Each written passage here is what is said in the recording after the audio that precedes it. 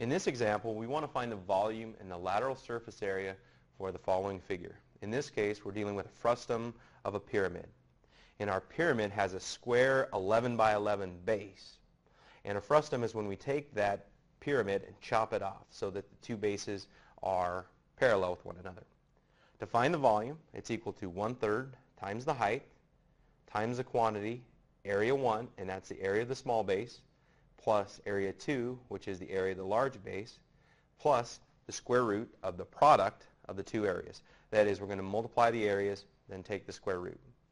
So let's see how that appears once this is plugged into our formula. And we can see that that's been done for you right here.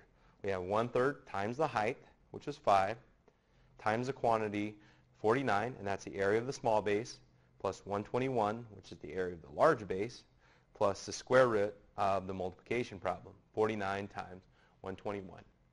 Carefully put this into your calculator, hammer that through, and round it to two decimal places. We come up with a value of 411.67 cubic inches. Again, with volume, we want cubic increments.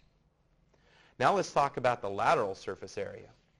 The formula for the lateral surface area is given as 1 half times the perimeter of the small base plus the perimeter of the large base times S, times S, which is the slant length there. All right, plugging in our values, we have 1 half the perimeter of the small base, which is 28, plus the perimeter of the large base, which is 44, times that S distance. And again, it's the distance down the side of our frustum. Putting all this information together, multiplying carefully, we come up with a value of 216 square inches. Again, because it's surface area, that is square inches.